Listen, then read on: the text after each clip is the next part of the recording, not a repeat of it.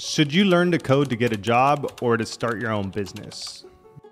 I kind of wanted to talk about what the difference would be in the learning process and also some of the things that you should consider if you do in fact want to become an entrepreneur rather than an employee when it comes to learning how to code. It really sets you on a different path when you first start off because you don't have to jump through a lot of the same hoops if you want to become an entrepreneur. But the problem is that there's a lot of different roads that you can take when it comes to becoming an entrepreneur with learning how to code rather than getting a job because getting a job would be way more straightforward than becoming an entrepreneur with code.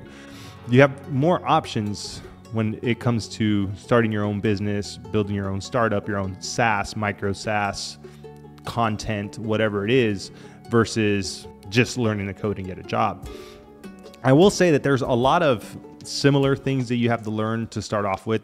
I'm mostly going to talk about web dev because I feel that web development is the easiest in the sense that more people need websites than mobile applications and game development or any other type of software development. And it's probably just going to be the path of least resistance when it comes to learning and like getting clients or building content. And I also feel that web development is one of the more popular options and it's more widely used in general. So let's just start off by saying you're definitely still going to need to learn HTML, CSS, and JavaScript. That's just going to be necessary no matter which way you go, whether it be getting a job or learning how to code to start your own business. The thing is that the path after that can be very, very different. A lot of people will often say, like, hey, should I learn WordPress? I've made videos on it before, and I want to touch on that one very quickly. If you are learning to code to get a job, I highly advise against going and learning WordPress beyond maybe spending a week or two on building like one or two WordPress websites for fun or for someone else. That's all you need because chances are you're probably not going to work in WordPress if you decide to go and get a front end developer job or a full stack job. You might, but you probably won't. It'd probably be more beneficial for you to go and learn a framework that is widely used. Also, there's a lot of pay discrepancy, and WordPress developers in a corporate setting don't make as much as let's say like a React developer or a Java developer. A lot of them work for agencies and a lot of the work is, I would say, less software development and more WordPress work. Drag and drop, WYSIWYG, editing stuff, installing and updating different plugins and themes and things like that.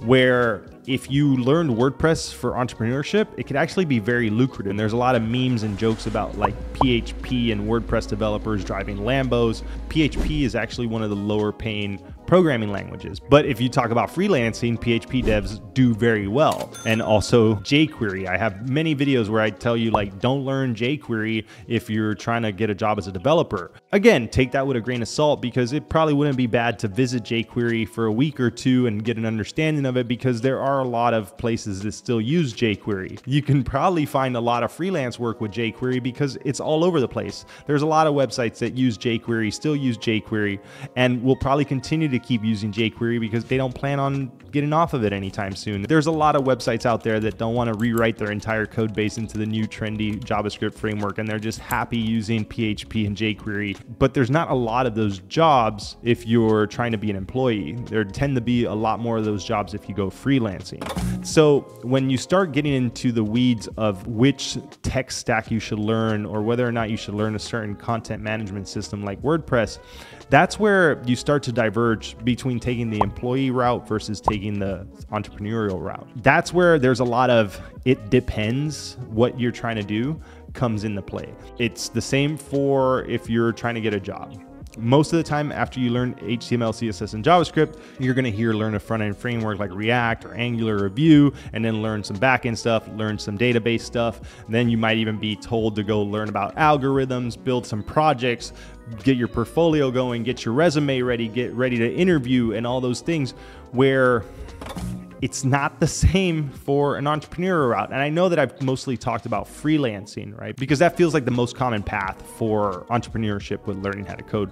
But the truth is that you can create your own SaaS product. And at that point, the framework that you want to pick is the one that you can build in the fastest. This might even mean using no code tools. This might mean using WordPress. This might mean using HTML and CSS to just build a landing page. When you get to the point of trying to build a business with programming, you don't need that much to build a CRUD app. And the tech that you use doesn't really matter. It also doesn't matter so much if you're getting new freelance clients. They don't care about the tech that you use. You're right back to whatever you build in the fastest is what matters.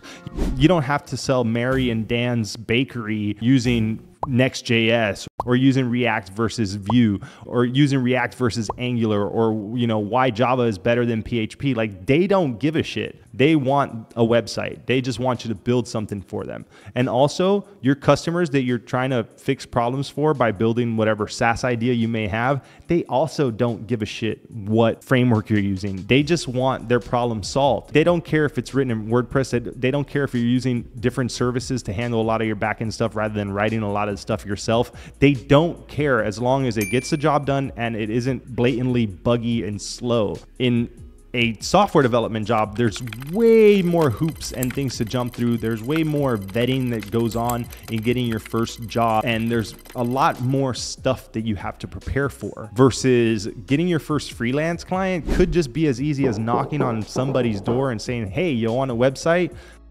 That actually might be a little weird if you just randomly knocked on some stranger's door and told them that, but you get what I mean. It really does come down to like just getting a few clients. You don't have to show them your resume. You don't have to do algorithms for the interview. You don't have to do a whole lot except say like, "Hey, I can build this for you." Again, I'm referring to freelancing a lot because that's probably going to be like the easiest way and probably the first way into entrepreneurship with using code. But eventually, you might want to build your own thing. You might want to build your own business. You might have business ideas that code can really help propping up and getting started that eventually don't need your coding expertise, but you can maybe build your own website to draw business to something else that you do. You can just figure out what you're trying to sell, what you're trying to fix, and what you're trying to do with your product, and you can build those things. There's a lot involved in the business aspect of things when it comes to building your own SaaS or your own startup that I don't want to get too in the weeds of, but I want to just give you the gist of what it involves. It doesn't involve as much as getting a job. And that's where I feel that it's almost as if I wish I would have taken that path or thought about that when I first started because I didn't think of that as an option.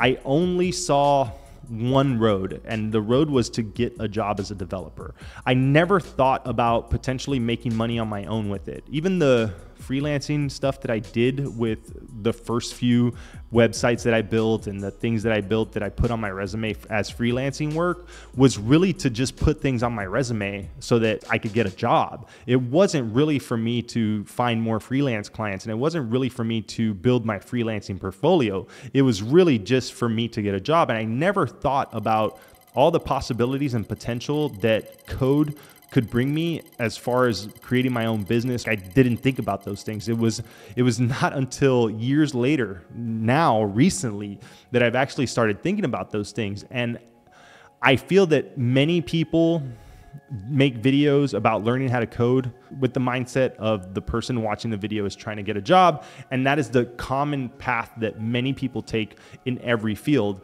And I want to start talking about more potential entrepreneurial routes with programming because it's kind of what I'm into right now. Maybe this video wasn't as thorough and involved as it could have been because I can't give you a step by step guide because I'm still trying to figure that stuff out. But I do want to say that you should have that at the forefront of your mind when you are learning how to code because it does dictate the things that you need to learn and the things that you need to get going. And I will say that learning to code in order to start your own business, be an entrepreneur, get into freelancing involves a lot less just learning, jumping through hoops, preparation than it does to get a job. We all know the path of getting a job for web development is like learn HTML, CSS, JavaScript, front end framework, back end, database, CRUD functionality. You got to learn Git, you got to build a resume portfolio, all that stuff that I mentioned.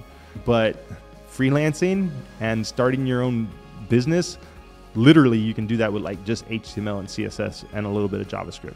Very, very minimal stuff. So I hope this video was helpful. I hope it wasn't too short. If there's something else that you want me to get into more detail on that I may have just glossed over in this video, let me know and I'll try to make a video on that. All right. Thanks for watching and I'll see you next time.